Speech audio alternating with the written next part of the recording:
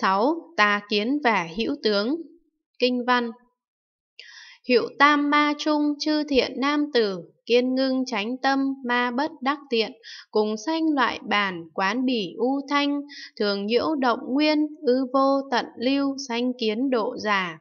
Thị nhân trị nhập, tử hậu hữu tướng, phát tâm điên đảo, Việt dịch, lại nữa, các thiện nam tử đó trong tam ma đẻ tránh tâm đứng lặng sáng suốt, thiên ma không có cơ hội quấy phá.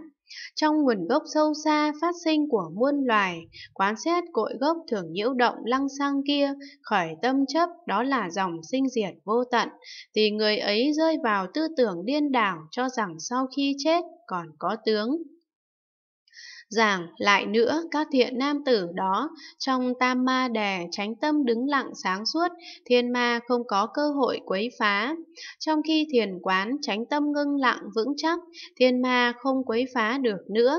Điều này liên quan đến những hành giả khi tu tập đã đạt được tránh định kiên cố, bởi vì anh ta có được định lực kiên cố và tránh tâm nên thiên ma không có cách nào quấy nhiễu được.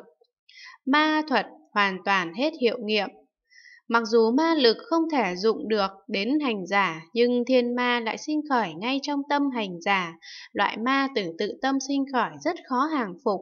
Trong nguồn gốc sâu xa phát sinh của muôn loài, quán xét cội gốc thường nhiễu động lăng xăng kia, hành giả có thể nghiên cứu cùng tột cội gốc của các loài chúng sanh, đó là manh mối nguồn gốc của mọi loài chúng sanh.